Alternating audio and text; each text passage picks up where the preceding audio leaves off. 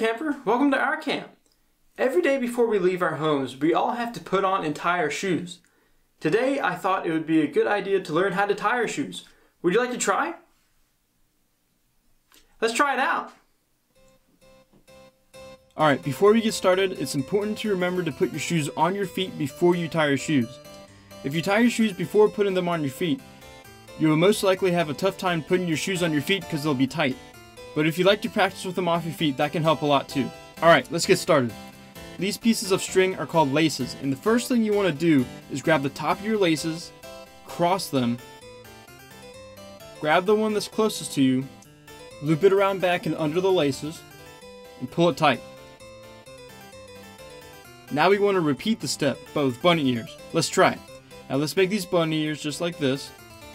You want to grab the bunny ears, cross them, grab the one that's closest to you, loop it around back and under the laces, and pull it tight.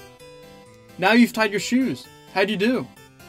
If you had trouble doing this, we can try again, but we'll do something slightly different to help. But first, let's untie your shoes by grabbing the ends of the laces and pulling, and then grabbing anywhere on the laces and pulling. Just like before, let's grab the top of your laces, cross them, grab the one that's closest to you, loop it around back and under the laces, and pull it tight. Now let's grab the top of your laces and put them in the holes where the laces are coming from. This will prevent the ends of the laces from flying around. Now let's grab our bunny ears,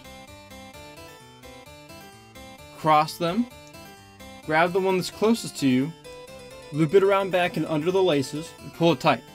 Now you can remove the laces out of the lace holes, and now you've tied your shoes again. Feel free to rewind this video as much as you need. Hey, welcome back! Are you able to tie your shoe yet? When you're starting to tie your shoes, it's not easy, is it?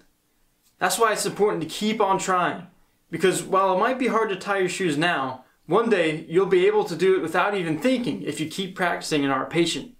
So please keep practicing and I believe in you. Thank you for coming to our camp and please hurry back. I'll see you next time.